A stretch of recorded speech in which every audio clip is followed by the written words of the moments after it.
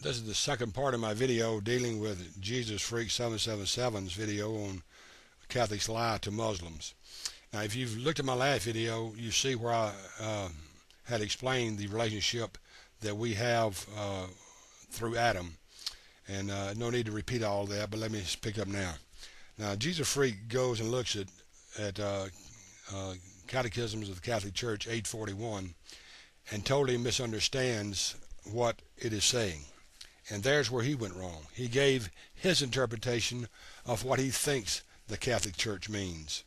Now, if you'll go back, if you have happen to have that, or you can find it online and read Catechism 839, 840, 841, 842, and especially pay attention to 843, where it talks about those who have been given light, or the, the Catholic Church recognizing the shadows and images in other religions as God's preparation to bring them the saving knowledge. Now, I want you to go back and look at those and then read Catechism 161 where the Catholic Church talks about salvation only coming through Jesus Christ. Uh, go back and look at those. And then again read 841, the one that Jesus Freak 777 totally misunderstood. What he did was gave his opinion about what he thinks the Catholic Church teaches. The Catholic Church doesn't teach that you can be saved just simply by by believing in God as creator. If that were the case, I would have been saved when I was probably six years old because I believed in God as the creator then, but I'd ever, never made any decision about Jesus Christ. That could be uh, said about millions of people in the world today who believe God is the creator, but have never come to the understanding of Jesus Christ and the grace that he offers them. So that was pretty a pretty ridiculous statement uh, to make in light of uh, Catechism 161, where it talks about salvation coming through Christ. What the Catholic Church is saying in those in those uh, numbers that I ask you to read is, and it talks about the plan of salvation. They are included in God's plan of salvation. Jesus freak, it did not say they were being saved. It said they were included in God's plan of salvation. Now, are you wanting to throw them out now as though they're not a part of God's plan of salvation?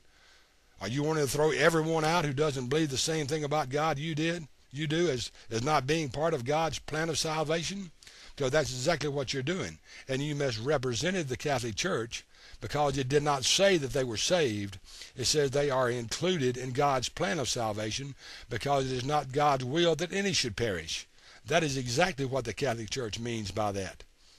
He didn't say they were saved. He said they were included in God's plan of salvation.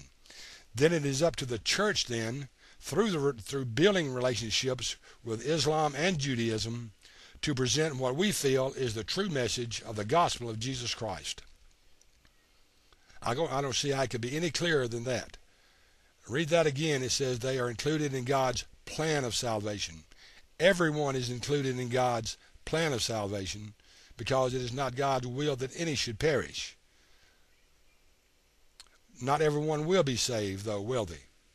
So you totally misrepresented the Catholic Church when you said that the Catholic Church uh, said that anybody who believes in the Creator is saved. You totally misrepresented the Catholic Church. And if you did, if you did any research at all, or had the courtesy to ask a Catholic what they meant by it, then you would not have misrepresented the Catholic Church the way you did.